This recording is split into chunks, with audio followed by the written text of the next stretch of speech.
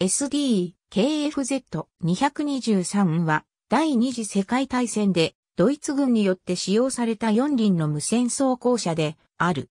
1935年から1944年にかけて550両が生産された。SD、KFZ223 は 20mm 機関砲搭載の偵察用装甲車 SD、KFZ222 と並行して、それを小改造した遠距離無線機搭載型として開発された。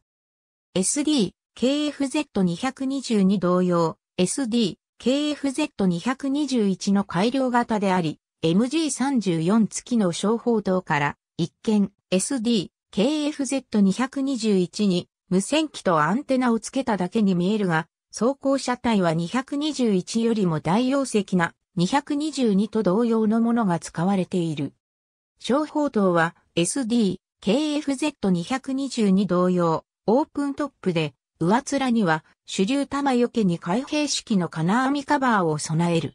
砲塔位置は中心よりだいぶ後ろ寄りで、これは車内の無線機、無線低用スペースのためだった。大型のフレームアンテナは後方に折りたたむことも可能だった。また、後期にはフレームアンテナに変えて星型アンテナを装着したものもあったらしい。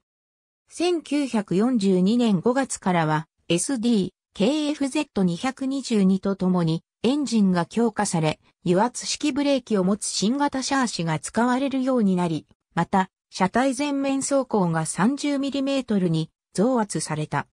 SD、KFZ223 は SD、KFZ222 とともに軽機構師団、機構師団、機械化不評師団内の走行偵察中隊に配備され、遠距離通信任務を担当した。しかし、四輪走行車は特に東部戦線などの劣悪な条件下では走破性に難があり、後には SD、KFZ250 系列などの半装機式、無線走行車にとって変わられた。SD、KFZ223 は SD、KFZ222 とともに中華民国、ブルガリア等にも輸出され、使用された。ありがとうございます。